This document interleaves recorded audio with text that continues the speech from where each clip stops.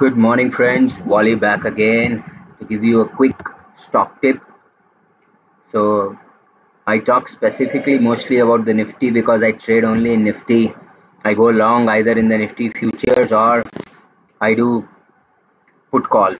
So, these are especially for my niche clients only, but today I would like to share with you guys as well.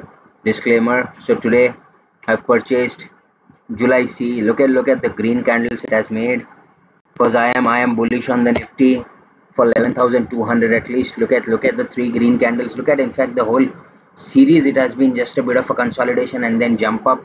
So again in the next two days I'm expecting at least 11,200 which could take this 44 to easy 80 to 90 probably 100 levels as well minimum target is 100 look at look at the rally especially today we've had a 25 point pump up so if you can if you have the guts go long. Don't don't buy too much.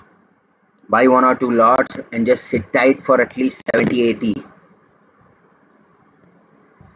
let's let's discuss BHEL as well. BHEL has been consolidating now again.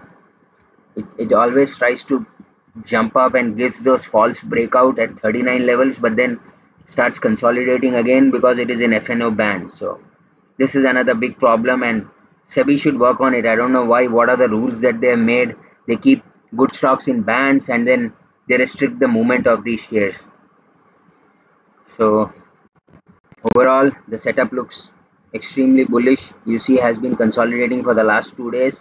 Anytime we might have another leg up, which could take it above the 40 levels, and then again another rally to 45, 50 levels. So this is a safe bet just sit tight on BHEL for a target of 50 immediate target of 50 so wally signing off. Have a nice day and happy trading